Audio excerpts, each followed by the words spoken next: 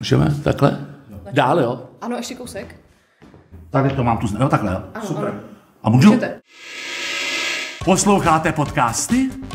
Puste si svůj oblíbený pořad, magazín nebo rubriku kdykoliv a kdekoliv jako podcast ve vašem mobilním telefonu i bez připojení. Co? To ještě jednou trošku výrazněji, trošku to prožít. Ještě bys to prožít? No, no, no. No to prožíval dost, tak jestli tak dobře. Posloucháte podcasty?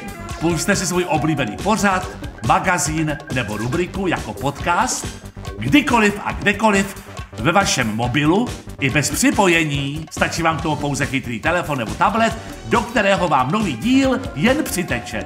A to mám mít na sobě tohle? Je, vy máte modrý tričko. No, a co jako to? No, to je jedno, jedem dál v pohodě.